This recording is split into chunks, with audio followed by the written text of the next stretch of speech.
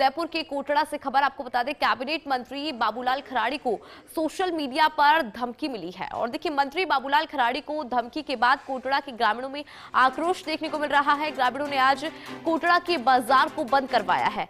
आरोपियों की जल्द गिरफ्तारी की मांग यहाँ पर उठाई जा रही है और थोड़ी ही देर में ग्रामीण प्रशासन को इस पूरे मामले को लेकर ज्ञापन भी सौंपेंगे। कोटड़ा की तस्वीर आप देख पा रहे होंगे कि किस तरह से ग्रामीण सड़कों पर हैं। मंत्री बाबूलाल खराड़ी को धमकी मिली और उसके बाद ग्रामीणों में भारी आक्रोश। आपको जानकारी दे दें, कैबिनेट मंत्री है बाबूलाल खराड़ी, जिनको सोशल मीडिया के माध्यम से धमकी मिली है और मंत्री बाबूलाल खराड़ी को धमकी जैसे ही मिली उसके बाद कोटड़ा के ग्रामीणों में भारी आक्रोश है। ग्रामीणों ने आज कोटड़ा के बाज़ार तक बंद करवा डाले। आरोपियों की जल्द गिरफ्तारी की मांग यहाँ पर उठाई जा रही है और थोड़ी ही देर में ग्रामीण प्रशासन को इस पूरे मामले को लेकर ज्ञापन भी सौंपेंगे।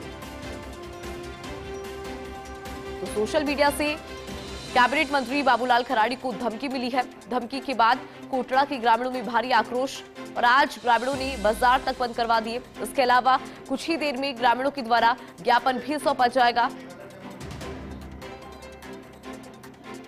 हमारे साथ रेजिडेंट एडिटर रवि शर्मा बने हुए रवि, देखिए, अगर इस पूरे मामले पर नज़र डाली जाए तो खराड़ी को जिस तरह से धमकी मिली, उसके बाद कोटड़ा के ग्रामीणों में काफ़ी ज़्यादा आक्रोश। क्या है जानकारी आपके पास?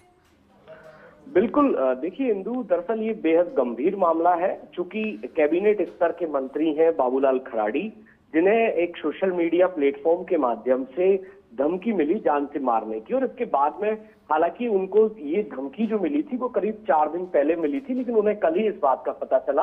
हम्म। जिसके बाद उन्होंने उदयपुर रेंज आईजी और पुलिस अधीक्षक दोनों को ही सूचित भी कर दिया है कि इस तरह की धमकी मिली और पुलिस ने जाँच भी शुरू कर दी है। लेकिन जो ग्रामीण हैं जो उनके प्रशंसक हैं फॉलोअर हैं उनमें इस बात को लेकर कड़ा विरोध है कि इस तरह की जो घटनाएँ हैं वो नहीं होनी चाहिए। और जो मंत्री हैं बाबूलाल खराड़ी उनकी हम्म। सुरक्षा बढ़ाई जानी चाहिए। और जल्द से जल्द जो आरोपी हैं जिन्होंने इस तरह की धमकी दी है उन्हें गिरफ़्तार किया जाना चाहिए। तो ये एक एक, एक बेहद गंभीर विषय है। पुलिस इस बात को बेहद गंभीरता से ले रही है और इसी वजह से जो आरोपी हैं उनकी डिटेल खंगाल रही है कि कौन लोग हैं। और ये जो सोशल मीडिया जो प्लेटफॉर्म है जिस पर अकाउंट जिससे धमकी मिली है उसको कौन ऑपरेट कर रहा है? तो इन तमाम चीज़ों को लेकर पुलिस इन्वेस्टिगेशन कर रही है। जी। चलिए बहुत शुक्रिया रवि तमाम जानकारी के लिए।